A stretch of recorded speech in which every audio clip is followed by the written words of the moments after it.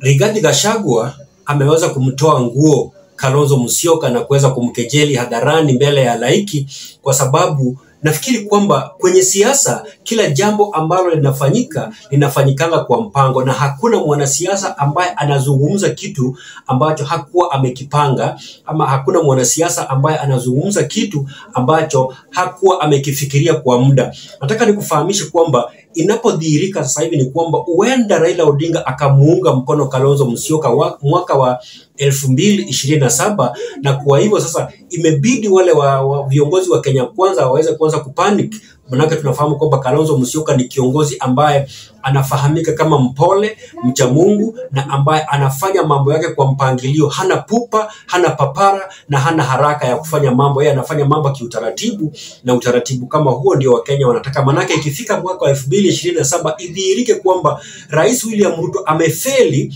kufanyia Wakenya yale ambayo alikuwa amewaahidi, basi Wakenya hawana budi ila kumuunga mkono Kalonzo Musyoka ambaye ataonekana kama chaguo bora, mcha Mungu ambaye ana maono mazuri kwa Wakenya, manake amewahi kuwa makamu wa rais siku za nyuma na alidhihirisha kwamba yeye ni kiongozi ambaye ana anaweza kuaminika hapa nchini Kenya.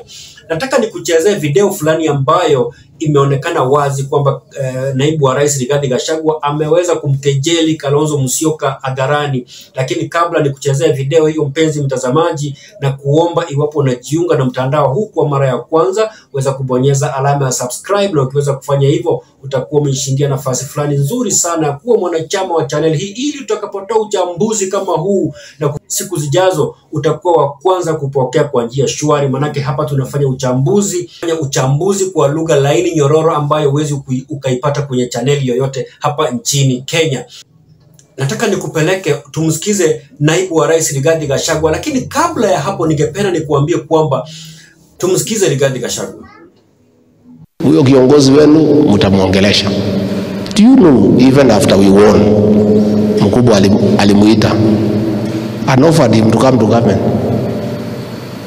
akasema hapana, wacha tungoje Supreme Court, mkitushinda tuongee wakati hiyo.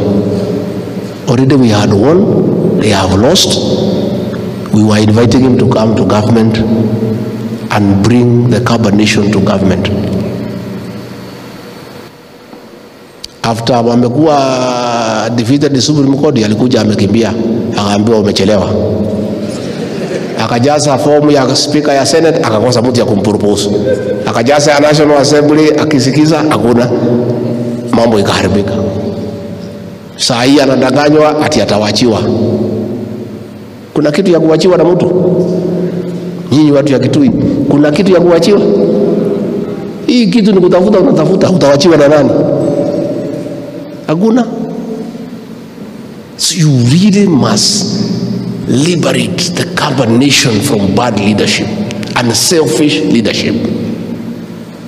One man cannot take a whole community into the wilderness for 15 years. And you have an example to learn from the Kikuyu nation. Life is walimu wanafundisha na examples. Mumeona sisi tumemwambia president akwende and we liberated the Kikuyu nation from one family. Natumaini kwamba umeweza kumsikiza Rigathi Gachagua anapozungumza akicheka, manake sisi kama wachanganuzi tunapoangalia suala kama hili, kuna mambo mingi tunaangalia. Tuangalie anachotuambia Rigathi Gachagua na tuangalie ambacho hatuambii Rigathi Gachagua. Sasa hivi tunafahamu kwamba kuna yale mazungumzo ambayo yamepangwa kufanyika kati ya viongozi wa upinzani na serikali pale ya watu wa, watu watano watano kila upande, jumla ya watu kumi, na kwenye mrengo wa Azimio ambaye amechaguliwa pale kwenda kuzungumza kwa niaba ya wenzao ama kuongoza lile jopo ambalo litaenda pale kuzungumza ni kiongozi wa Wiper ambaye anafahamika kama Kalonzo Musyoka, na pia ukiangalia hivi karibuni zile zile zile hotuba ambazo zimekuwa zikitolewa za Azimio ama ile kuzungumza na wanahabari ambao wanaazimia wameweza kuwa wakifanya wamekuwa wakifanya kutoka makao makuu ya Kalonzo Musyoka Foundation pale Karen, na hiyo inadhihirika wazi kwamba ama kiongozi wa upinzani Raila Amolo Odinga ame, ameanza ile mchakato ama ameanza ile safari ya kunoa makali ya Kalonzo Musyoka ili aweze kukabiliana na William Ruto ifikapo mwaka wa elfu mbili ishirini na saba. Sasa hivi ukijaribu kuangalia inaonyesha wazi kwamba Kalonzo Musyoka ndiye atapeperusha bendera ya Azimio ifikapo mwaka wa elfu mbili ishirini na saba. Na mimi pia ningependa kuangalia ama ningependa kujaribu kuchanganua hapa na pale, niangalie ama nikuambie ni nani atakuwa naibu wa rais wa Kalonzo. Ningependa kusema kwamba iwapo ningepewa ile nafasi ya kumshauri Kalonzo ama kuwashauri viongozi wa Azimio, ningemchagulia Mwangi wa Iria awe ndiye naibu wa rais wake. Maanake tunafahamu kwamba ni vigumu sana rais kuwa kupata kura nyingi hapa nchini Kenya ama kutawazwa kuwa rais bila kura za watu kutoka Mlima Kenya. Na sasa hivi tunapoangalia viongozi kutoka Mlima Kenya ambao wanapigiwa upato wa kuja kuchukua ule ukingpin ama uongozi wa Mlima Kenya ni Mwangi wa Iria ambaye yuko pale. Manake tukiangalia Martha Karua, Martha Karua hana ule usemi pale mlimani na pia ukijaribu kuangalia Rigathi Gachagua, Rigathi Gachagua, watu wengi wa Mlima Kenya wanasema kwamba sio kiongozi wa kuaminika, maanake ni kiongozi ambaye kazi yake ni kuropoka tu hapa na pale, na kiongozi ambaye ataweza kuheshimiwa, ambaye aweze kutukwa lile jukumu la kuwa spokesman ama msemaji wa jamii, sio mtu wa kuropoka kama Rigathi Gachagua. Ukiangalia viongozi wengine pale viongozi kama kina Kimani Ichung'wah, Ndindi Nyoro ndio ni viongozi wa, wa kutajika sasa hivi, lakini hawana ule hawana ule mvuto wa kuweza kuunganisha jamii. Yao ni kupiganisha jamii. Maanake sasa hivi ukijaribu kuangalia, wanampiga vita sana aliyekuwa rais eh, Uhuru Muigai Kenyatta. Kwa hivyo inaonyesha kwamba ni watu ambao hawana heshima na hawawezi wakaaminika kwa vyovyote vile. Kwa hivyo Mwangi wa Iria, iwapo ni kutoka Mlima Kenya, ndiye kiongozi ambaye anaweza akachaguliwa pale awe naibu wa rais wa Kalonzo Musyoka ifikapo mwaka wa elfu mbili ishirini na saba. Kwa sasa hivi nataka tusidanganyane, Rais William Ruto atamaliza kipindi cha miaka mitano, lakini miaka mitano nyingine hatuna uhakika kwamba ataweza kuchaguliwa.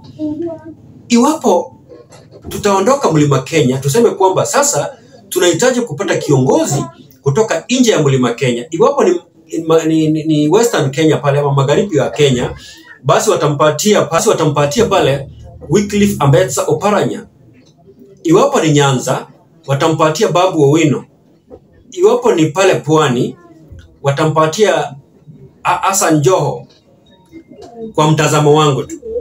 Kwa hivyo ningependa nikwambie kwamba huyu Rigathi Gachagua ameona ameangalia mbele na akaona kwamba Kalonzo Musyoka is the next big thing in the Kenyan politics. Sasa anajaribu kumwonyesha kwamba ni kiongozi dhaifu, kiongozi ambaye anaenda kutafuta kazi ya uspika. Kumbuka huyu ni mtu amewahi kuwa naibu wa rais. Huyu ni kiongozi alikuwa amechaguliwa kuwa mwaniaji mwenza wa Raila Odinga mwaka wa 2013 na mwaka wa 2017. Mwaka 2022 akachaguliwa kuwa waziri mkuu wa Raila Odinga iwapo angechukua serikali.